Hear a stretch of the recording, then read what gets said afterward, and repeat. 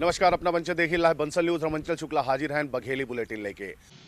दूसर खबर जौन ही वह रीवा का गौरवान्वित करे वाली है, अपना का बताई कि दीपक सिंह जी के गलवान घाटी में शहीद हो गए रहे हैं, उनकर पत्नी रेखा देवी अब जौन है तो सेना के हिस्सा बनी। अपना का बताई कि इंटेलिजेंस परीक्षा जौन है वो पास कैली नहीं, और नौ महीना के ट्रेनिंग के बाद उस सेना में भर्ती हुई। अपना का बताई कि दीपक जौन है बिहार के सोलहवीं रेजिमेंट में चिकित्सक रहे हैं, और गलवान घाटी में जब हमला भा तो तीस लोगन के जान बचावे के साथ है, उनकर जौन है तो गोली लगे से मौत हो गई रही, और उनका जौन है तो वीरता का प्राप्त हो रहे एक बाद जो है तो उनकर पत्नी, जो रेखा देवी अब तेईस वर्ष के हैं, वो जो है तो सेना के परीक्षा दीन और पहली परीक्षा पास करे के बाद अब उनका नौ महीना ट्रेनिंग करे के बाद सेना में भर्ती हुई, जो उनके रीवा सहित पूरे बिंद खातिर गौरव वाली बात यह है।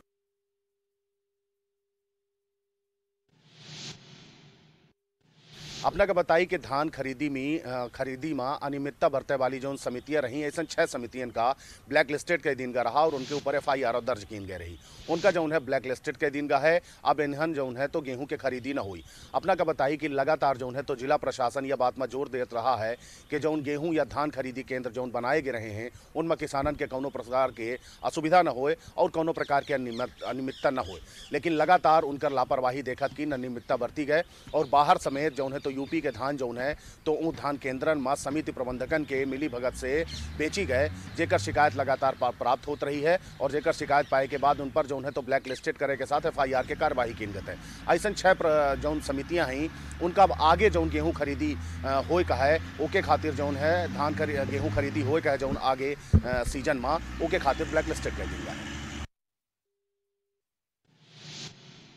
अपना बताई कि रीवा जौन केंद्रीय जेल है उका जौन है तो उमा आठ नए बैरक बनाए जाएगा है, जेके खातिर तीन करोड़ रुपया शासन द्वारा जौन है तो दीन गए हैं। अपना का बताई कि रीवा केंद्रीय जेल में लगभग 1900 कैदी परमानेंट जौन है तो राहत हैं और ऐसने में उनका रहा में समस्या होत रही है, और बैरक बैरकन के कमी के कारण 2016 में यह प्रस्ताव दिन का रहा कि जौन केंद्रीय जेल के बैरक है, उनका बढ़ावा जाए। और आठ बढ़ा, बैरक जौन है बढ़ावे के प्रस्ताव दिन का रहा है जौन 2016 से लंबित रहा है, जेके खातिर अब तीन करोड़ रुपया जौन है तो पास हो गए हैं। ऐसने में आठ नए बैरक बन जाए से कैदियन का हियन रहा में काफ़ी सुविधा हुई।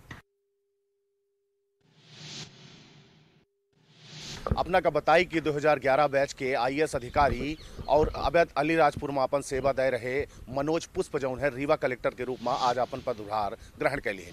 उनकर कार्यकाल देख के ऐसा लागत है कि ऊ जौन है तो शिक्षा और स्वास्थ्य पर विशेष रूप से फोकस करत हैं। इससे पहले रीवा जिला के कमान जौन ही तो डॉक्टर इलैया राजा टी के हाथे में रही। कोरोना काल में जौन है तो बेहतर चिकित्सा सुविधा उपलब्ध करावे सहित जौन प्रशासनिक व्यवस्था रही और कानून व्यवस्था रही ओका दुरुस्त करे में, वो अव्वल रहे हैं। अपना का बताई कि रीवा जिला के लोग जो है तो उनका भाव भी विधाई दीन और उतने गर्मजोशी के साथ अपने नए कलेक्टर मनोज पुष्प के स्वागत किन है। आज वो सुबेरे कलेक्ट्रेट पहुँचे और वहाँ पदभार ग्रहण करे के साथ है, कर्मचारी इनसे मुलाकात करके परिचय प्राप्त करें।